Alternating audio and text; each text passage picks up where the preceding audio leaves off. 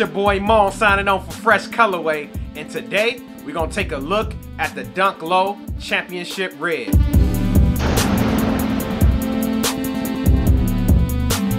Before we get started, be sure to like this video and subscribe to the channel. Follow us on social media also. Facebook and Instagram is at Fresh Colorway. Now the Nike Dunk was released in 1985, but really started making a name for itself around 2002 with the SB Dunks. After 2002, the momentum died a little bit on the Dunks. But then the pandemic happened. And as you know, when the pandemic happened, all gym shoes started going crazy. So the Dunk Low was no different. The prices of Dunks started to get ridiculous. And the latest iteration in that craziness is the Dunk Low Championship Red. We have an all leather upper, Championship Red on the mid panel and toe cap, white toe box, and white Nike swoosh.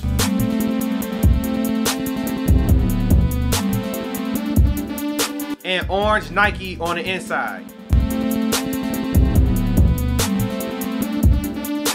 And for those who are into dunks, you know this is an exact flip-flop of the Dunk Low University Red. Now this shoe took a little time to grow on me because it's a little different color blocking than what we used to seeing.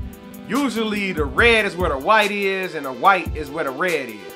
This shoe was another one of those game time decisions for me and I went ahead and decided to add this one to the collection. So I got my size, size 12, and I go ahead and put them in the collection. I'm not a big dunk collector, but I'm thinking I might start a dunk collection now. Dunks got that low retail price of $100, so two pair of dunks equals like one pair of a Jordan 1 OG High or a Jordan 5, so I'm thinking of starting a dunk collection.